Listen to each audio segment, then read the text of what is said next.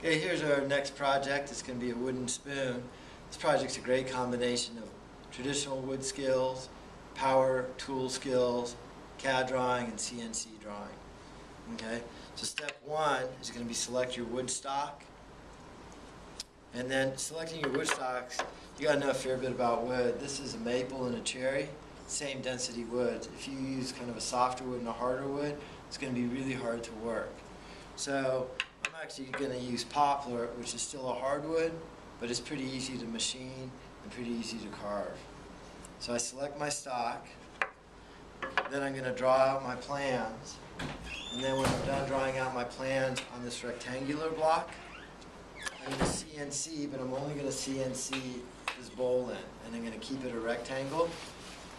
And then when I'm done CNCing the bowl in, I can take this rectangle, clamp it down to the tabletop, and then I'm going to use hand gouges to smooth it out, and then power sanders to smooth that.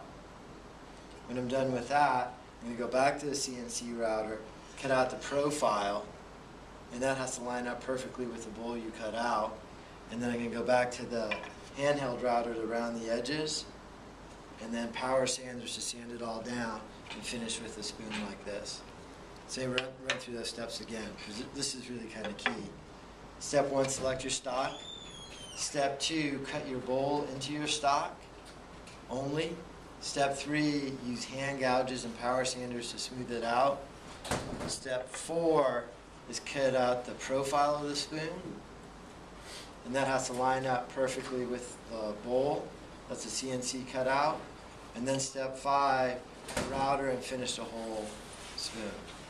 If you that order of operations doesn't go right, um, the whole spoon will fall apart. All right.